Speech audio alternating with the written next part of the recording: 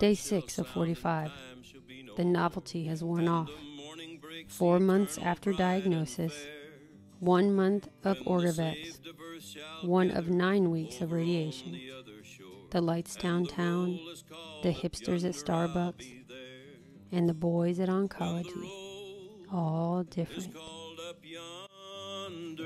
When the roll is called up yonder, when the roll is called up yonder, when the roll is called up yonder, I'll be there. Okay. All right, we're Good. good. Hey, cowboy, how you doing today? I'm riding hard, riding hard, like I'm living life like I left the gate open. You feeling good? Yeah. Yep, yep. The uh, the only thought I have today is well, I always got a bunch of thoughts, but one of the thoughts I I was looking at all the men in that oncology, and they're all of the same social economic strata that I am in. And then the thought hit me, what about the rest of the population? Okay. What about all the people that don't have money and don't have health insurance and they just say, fuck it. You know? And they don't, they die. You know, they, it, it, it, uh, it, it, it's, uh, you know, the rich will prevail. The poor, uh, you know, they, they've got it tough, tough. You know, they, they don't have access. Constable, you're paying you're paying a thousand dollars a day. Uh, a thousand plus, eleven hundred dollars is what uh, Medicare and uh, United Healthcare are paying. Uh, I'm, it's all free to me, total, nothing out of pocket, nothing. Ooh. Maybe maybe the poor can smoke weed. Yeah. what, what what do they do? They die. You know, I mean, they walk around with their penis rotting off, is what they do. Oh, You know, oh, and- that's and that- a horrible vision.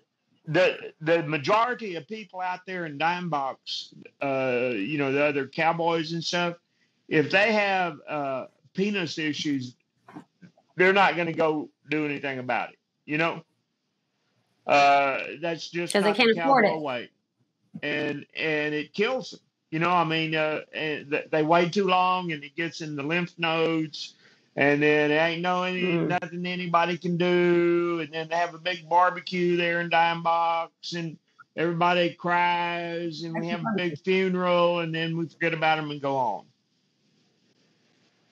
Right, right. So so you're telling me those hundred and twenty men that line up with you every morning are each putting one thousand dollars in the offering plate.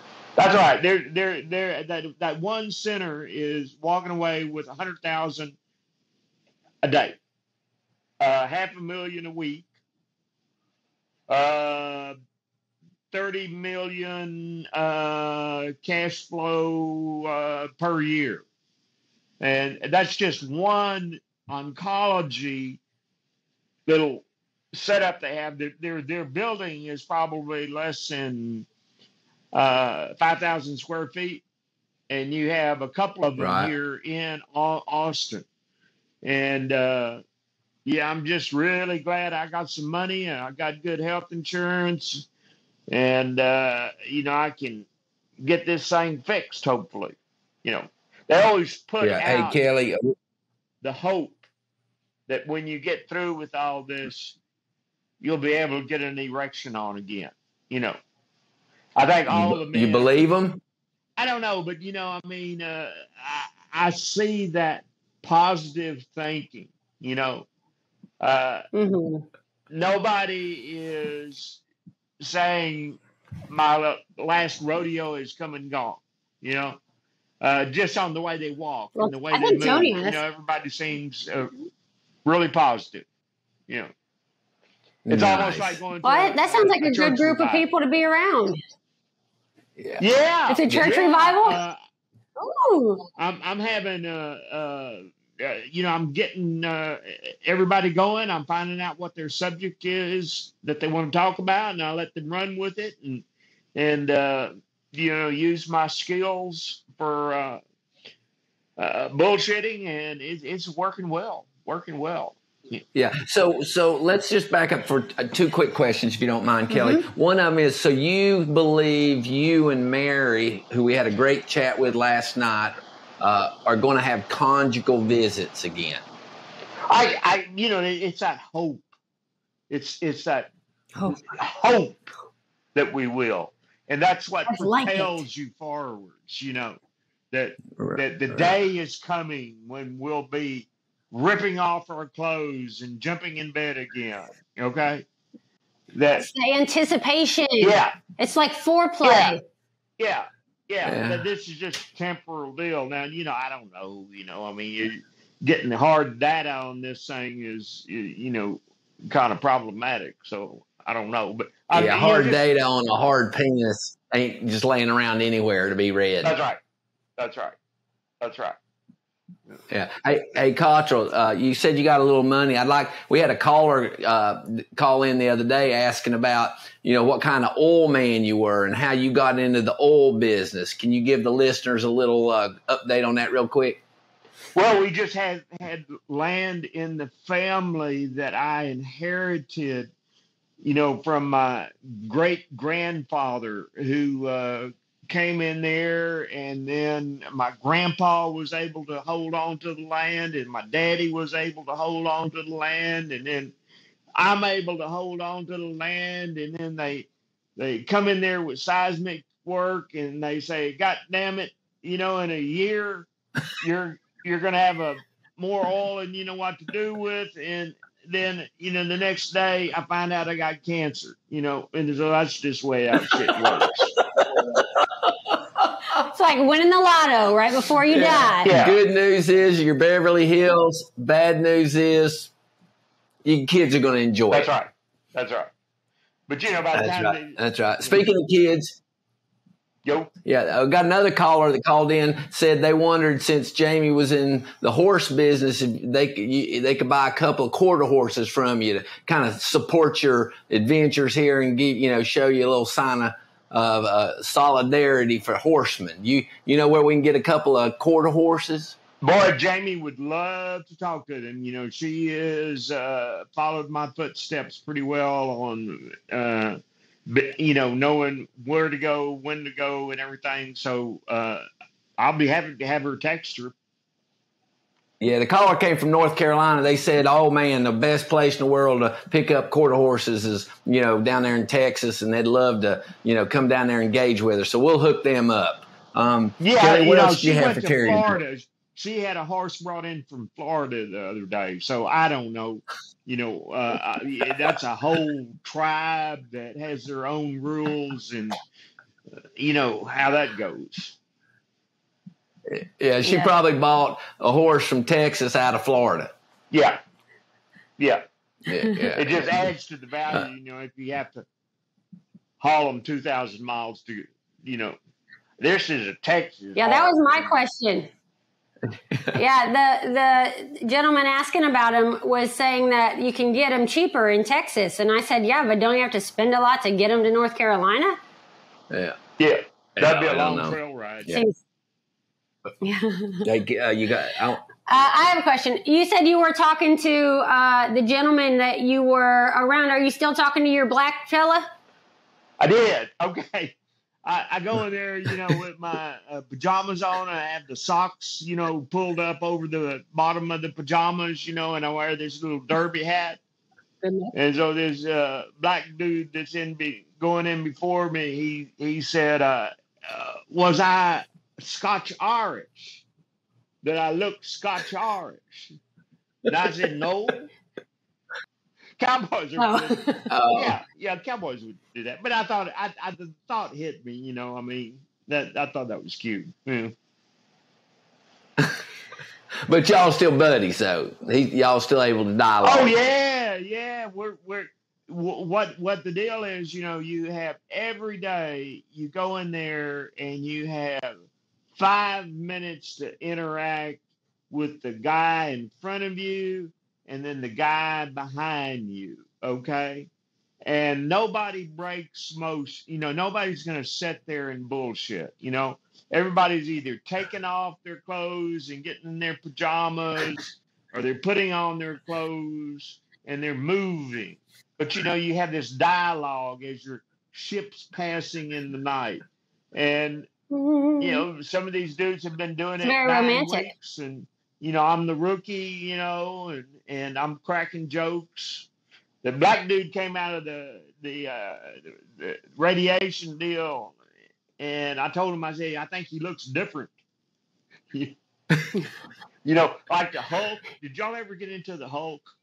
Yeah, that- like the Incredible Hulk. radiation that changed him. So you know, I, I'm I'm just waiting for that moment where I'm just gonna bust out of there. You know, You know, just rip your clothes when you go to Hey, try hey, them hey, on. Cottrell, do do people in that line do they look unhealthy, or could you just as well be out there at the uh, at Whataburger? Whataburger.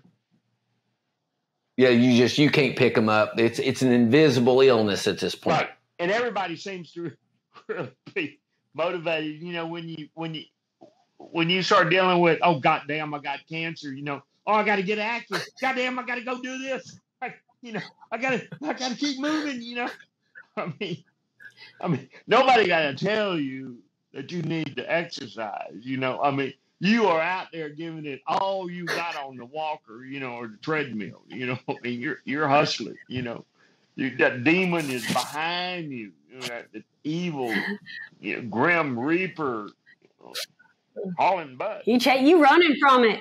You bet. Yeah, yeah. Well, hey, one little, one little last comment, unless Kelly, you got something. You said in the text this morning that the novelty has worn off. Well, I'm feeling sorry for myself. You know. Okay. Uh, Uh, you- maybe, you maybe it's in those point where, pills. You know, that's a really dumb thing to do. You know, I mean, to, to feel sorry for yourself or think you're special or be embarrassed, you know, about it. You know, I mean, you know, it, it took about four months for me to get to that point, but that that that was a real issue. You know, I felt like, ew, you know, I got I got some social disease. I got, you know, VD. You know, Ugh. damn. It's your mama's fault. I'm okay with it, you know. Oh, All right, you, you worked through it. I did have I do got- have one I got more money question. and I can handle anything. I expect you're. I got one more question though. Uh, how are your little pills doing for your uh, for your emptying of your bowels? They're working. I take a uh, uh, uh, little bitty pill, and what's important, you know, I mean, the, the first day I was there, uh, I had it all screwed up. You know, I was constipated, and I didn't have any pee in me, and so now I'm drinking uh, a quart of water exactly an hour and fifteen minutes before I go in there, and I got to piss like a racehorse, man. I, I'm running in there. And then I go to Starbucks and I also guzzle a, a large dark roast, you know, and I am beating on that. You know, they got combinations in Starbucks now, you know, to keep the Yeah. holes out, you know. Oh And every morning they got a new combination, you know. And uh, that's always dicey, you know, when you're putting those numbers in, you you're thinking, will it work? You know, will will the door? So I'm going in, my bowels are empty, I gotta pee, and they love me. They love me. Is it a little tricky emptying your bowels, colon, and not peeing? Because I, I It generally is. like to think of those two things together. You gotta you gotta hold your peckers as you poop. That's a technique I just developed the last day or two. That's what I'm saying. You know, it's just synchronization, just learning these little bitty things that you never would think of otherwise. You know. This is such a gift to, to people coming Oh, so behind you. Good, good. Okay, honey, you cleared up. Is that we, we wrap this one up today? Yeah, that's Hey, hey, yeah. Cottrell, All finish right. up. No, no, no, no. We need we need three things. How's your mind? How's your mind? One to five. Good. Five. Okay, good. How's your how's your how's your body feeling? Oh, uh, you know, I, I can feel that stuff starting to work. I'm I'm starting to lose some uh, energy. I'm I'm probably uh three and a half now. Okay. I have a question. Yeah. Did the did the hammer ever drop on the uh, burning butthole? Not yet. Not Yeah. yet. Maybe you'll miss it. Maybe you'll Maybe, skip right yeah. past it. Yeah. And so I Yeah. gets to the last one is about your spirituality, you know, the idea that you and the Green Reaper are doing this little Texas two step together these days. What you what you thinking about that? I think I'm getting some distance on him. You know, Yeah. last time I looked behind me, you know, it looked like I was moving, you know, ahead. You know, and he's slowing down. Well, that's that's And the That's, race that's is great news. Hey, becomes- Cottrell, thank you very much for doing this. We so appreciate you including us in this journey. Uh, gratitude to you. We love you to death. Want to remind you that this episode of Castration of Cowboy is called The Novelties Run Out. And um, uh, it's brought to you by 4C Ranches, a Texas for profit corporation located in Dime Box, Texas. Dime Box? Hey, we appreciate you. All right. God bless. Bye bye.